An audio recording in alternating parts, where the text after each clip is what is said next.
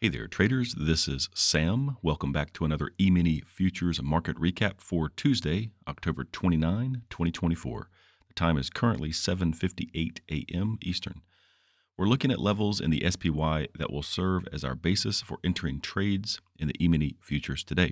So far in the overnight session, prices stayed mostly flat from where they closed yesterday. In fact, the level shown in the light blue line around 580.80 is pretty much around yesterday's close. That's all that is. If price comes into that level from afar, like if they open a decent distance above or below where they're currently at, this level could be a tradable area.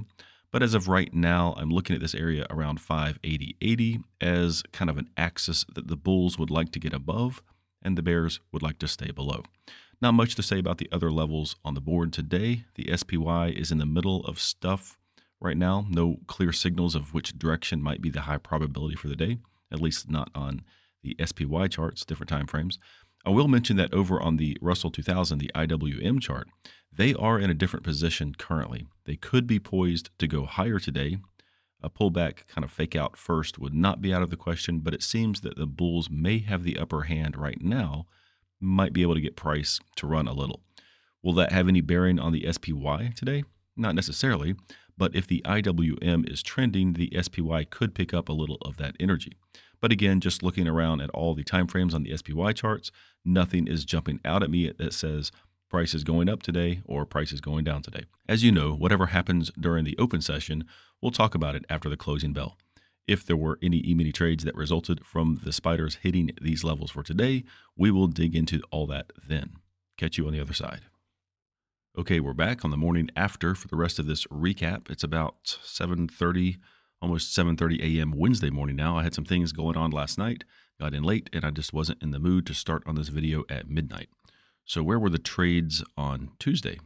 It's one of those classic near miss days for a couple of the levels, but we ended up with two solid base hits by sticking to the rules. Let's break down how it all played out. Starting with the first level at 578.86.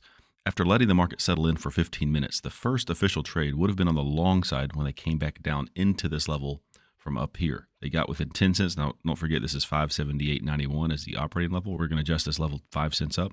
They got within 10 cents. As you probably know, per our rules, that's a near miss. So no fill here. The order was canceled. This is one of those examples where discipline keeps you out of unnecessary trades and saves you from guessing or chasing. I am curious if any of you guys who had these levels from Tuesday morning before the opening bell went ahead and traded this level the first time it was hit down here and got your base hit or more. Clearly, the level was important support, and price did get out of there pretty quickly. Next up, 580.80 on the short side. So we'll bring this down to 580.75. You're looking for the first time. They, they're going to hit this level and pull back. And once again, they came up within 10 cents. So and pull back more than enough for a base hit. I call that a near miss, although it did work. One, we gave you one more chance. Uh, they don't always do that. So this is officially a near miss, no trade. But once they got above and things were going on, you could see on other charts that they probably were going to go higher. So a recycled trade would be when price comes back down into the level after a certain amount of time. And really that would have been over here because 580.80 was our level. So we're going to look for SPY to come back into 580.85. They got out of this level here. 20 minutes later, they're, so this is a much more precise trade on the long side here, although there were plenty of opportunities. I just wouldn't have touched this. But I was already long at this point, riding this thing up and got stopped out when it came down here. But anyway, that's uh, at least one base hit on the long side. And then when they continued higher and they went up to 582.80, you'd have your operating level in at 582.75. Perfect trade, pulled back for at least four points. And you could have got more depending on what you were seeing on your other charts at the time. I wasn't around my computer at this point, just took this first trade and got out. We'll watch my trades in a minute, but so in total, you would have had officially eight ES points for the day across two trades.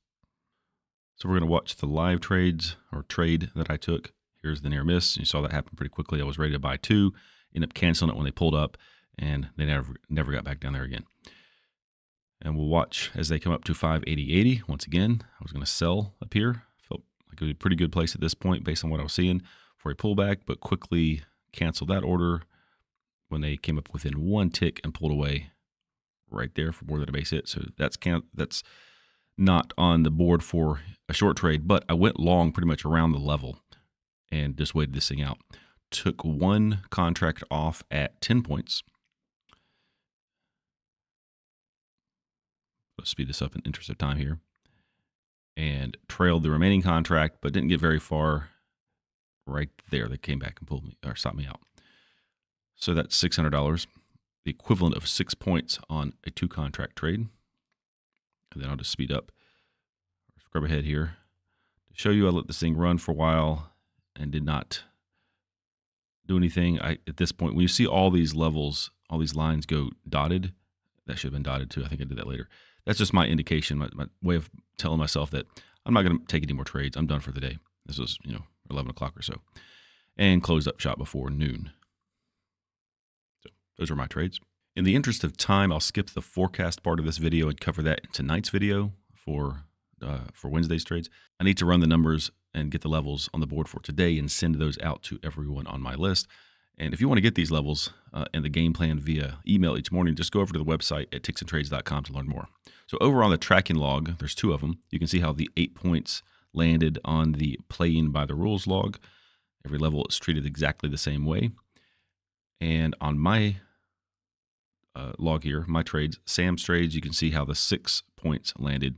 And this represents the number of e-mini contracts traded at each level and you can read the notes. There are actually some new things I want to go over, but I'll save that for tonight's video. Just want to point out that there's one new metric here, this total rate of return.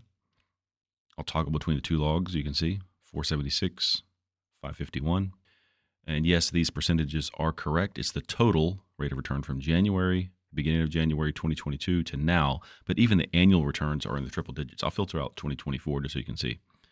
24 for Sam's trades, 24 for playing by the rules.